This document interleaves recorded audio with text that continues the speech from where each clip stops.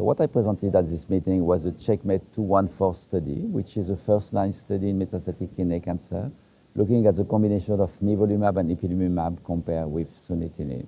So the rationale behind was that this combination has been tested in several tumor types, active in melanoma as an example. And in, in renal cancer, we did a phase one, which was quite encouraging with good response rate, good survival. So we went to this large phase three, one more, more than 1,000 patients, where Nivo and Ipi is given together for four doses. Nivo 3 milligram per kg, Ipi 1 milligram per kg, every four doses, and then maintenance therapy with nivolumab. Compared with sunitinib as a control arm, more than 1,000 patients. Primary endpoint was in intermediate and poor risk patients, so classification by what we call IMDC in renal cancer. So most of the patients were poor and intermediate risk patients, although we had also a group of good risk patients, 250 patients here. All patients had tumor available for PD-L1 testing, which is one of the exploratory endpoints we did. So that's patient population and the study design here.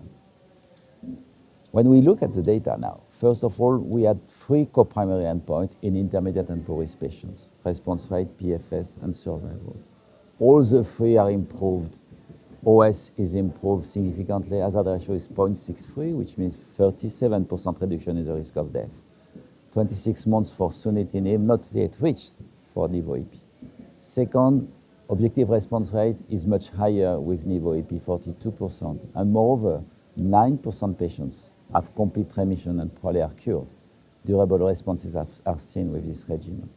And third endpoint, PFS, improvement by more than three months, which is not statistically significant here, but p-value is 0.03, which is still very good here. So overall, very good data in poor and intermediate risk patients. Second message, it's manageable. Safety profile was as expected, and grade 3 4 toxicity are less that we have with sunitinib.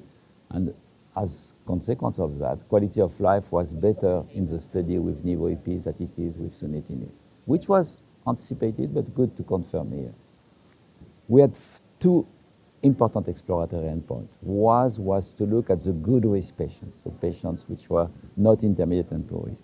Surprisingly, in this group of patients, sunitinib seems to be better, at least in terms of response rate and PFS here.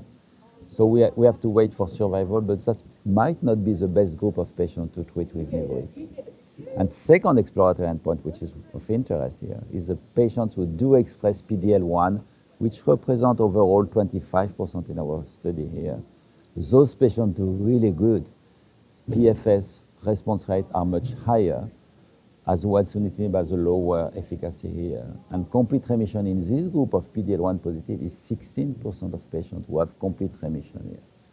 So certainly the global conclusion of the study is one, that's going to become the new standard of care in patients with metastatic kidney cancer certainly in patients with intermediate and poor risk group, maybe not in good risk patients. Whether we should have to look at PD-L1 expression is something we'll have to confirm later on, but that's going to become very soon the new standard of care. Well, whilst Astra was looking at sunitinib as a single agent, are there any considerations for comparison to the recent CABOSUN trials?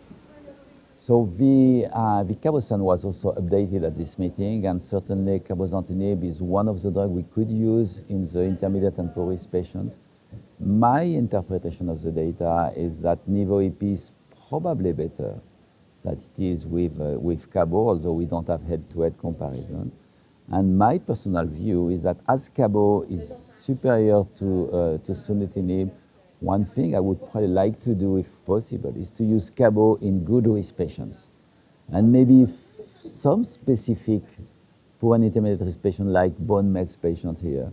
And I would keep Nivo Ipi for the majority of the, of the other patients. But it's going to change a lot because I think in the near future, only Nivo, Ipi, and Cabo will be used in first line. So it's going to change a lot.